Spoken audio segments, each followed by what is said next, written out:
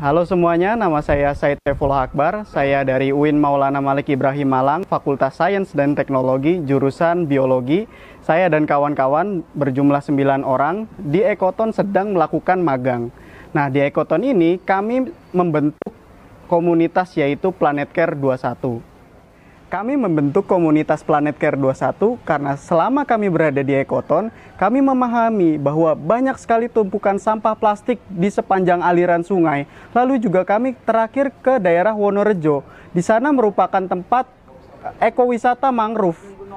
Namun di sana banyak sekali tumpukan sampah plastik yang menyebabkan keindahan pantai maupun keindahan mangrove itu tertutupi oleh sampah plastik tersebut sehingga kami menyadari bahwa sampah plastik ini sangat berbahaya untuk lingkungan ditambah lagi bahwa sampah plastik bisa terfragmentasi menjadi mikroplastik oleh sebab itu di sini kami komunitas Planet Care 21 memiliki concern terhadap sampah-sampah plastik dan mikroplastik. Lalu sampah plastik itu berasal dari mana sih?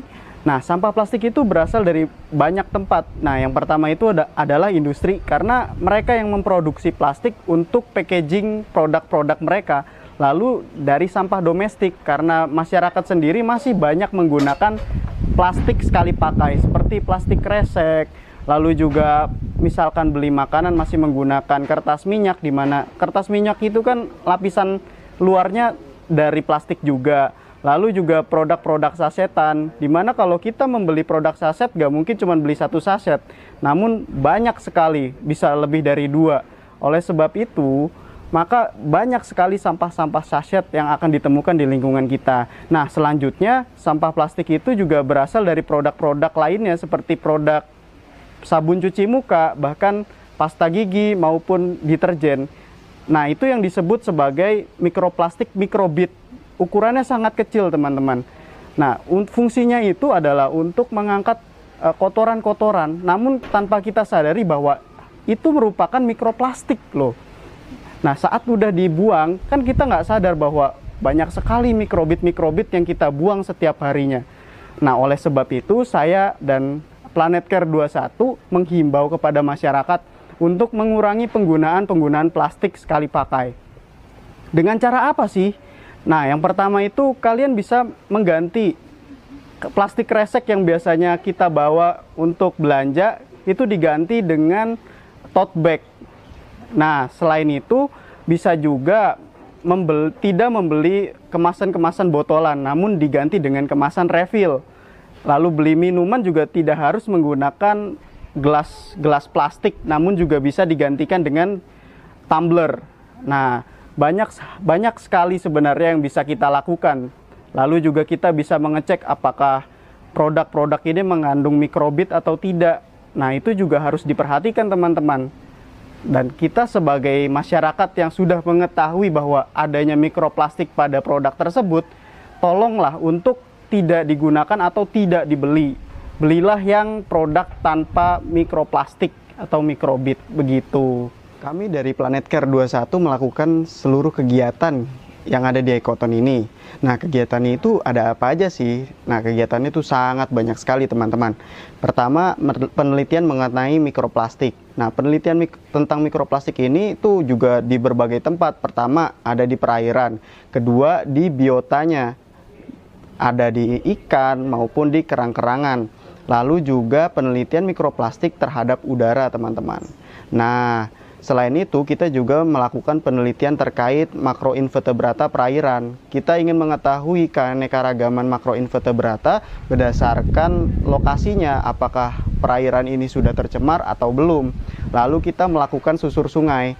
Nah, susur sungai ini bertujuan untuk mengetahui spot-spot mana aja sih yang banyak timbunan sampahnya Begitu. Lalu juga kita melakukan yang namanya brand audit. Nah, brand audit ini bertujuan untuk mengetahui brand-brand apa aja yang ada di lingkungan kita ini, sampah-sampah yang bermerek itu loh. Nah, setelah kita mengetahui, kita akan e, menginfokan kepada perusahaan-perusahaan tersebut karena berdasarkan Undang-Undang Nomor 18 Tahun 2008 bahwa perusahaan itu atau industri itu harus bertanggung jawab terhadap sampah plastik yang mereka kelola atau mereka produksi, teman-teman. Nah, begitu. kesan yang kami dapatkan di sini adalah kami merasa sangat senang sekali, lalu juga kami merasa excited sekali akan kegiatan-kegiatan yang ada yang ada di Ekoton. Nah, kenapa kami merasa seperti itu? Karena kami mendapatkan ilmu baru, ilmu baru seperti mampu mengoperasikan beberapa alat-alat lab yang ada di sini, lalu juga mengoperasikan alat-alat yang ada di lingkungan, lalu juga mengetahui metode-metode penelitian yang ada di lingkungan Lalu juga kami mendapatkan pengalaman baru seperti penelitian mikroplastik pada perairan, lalu penelitian mikroplastik pada ikan maupun kerang-kerangan, lalu penelitian mikroplastik pada udara. Dan di sana kami mendapatkan semuanya terdapat mikroplastik. Sehingga kami mengetahui bahwa lingkungan ini sudah sangat tercemar oleh plastik yang terfragmentasi menjadi mikroplastik. Selanjutnya pengalaman kami adalah kami mengunjungi beberapa outlet limbah. Pertama di PT Eratama, lalu juga ada di Miwon, lalu ada di Cai Jedang dan lainnya. Dan yang di PT Eratama kami merasakan langsung bagaimana rasanya terpapar oleh limbah. Saat terkena tangan itu atau kulit, itu akan merasakan gatal-gatal teman-teman. Lalu suhunya juga hangat sampai panas. Lalu saat kena mata itu merasa perih, teman-teman. Lalu kalau kita bayangkan bagaimana biota-biota di sana yang sering terpapar oleh limbah tersebut, kan pasti sangat menyakitkan. Lalu juga kami mengetahui ada juga loh bahwa industri yang mengelola limbahnya cukup baik seperti di Miwon. Memang airnya agak keruh tetapi pengelolaannya lebih baik dibandingkan PT Eratama seperti itu. Lalu Pengalaman lainnya adalah kita melakukan kunjungan ke Wonosalam, yaitu Sungai Boro. Di sana itu perairannya sangat bagus sekali dan kami juga melakukan penelitian tentang mikroplastik, lalu penelitian tentang makroinvertebrata. Nah, di sana kami mendapatkan makroinvertebrata yang sensitif terhadap perubahan lingkungan, terutama terhadap polutan. Yang menandakan bahwa kualitas air di sana itu masih sangat baik sekali Lalu juga kami mendapat uh, tidak mendapatkan mikroplastik di perairan tersebut sehingga bahwa perairan itu belum tercemar loh. Nah, kita selain itu melakukan kunjungan ke Wonorejo.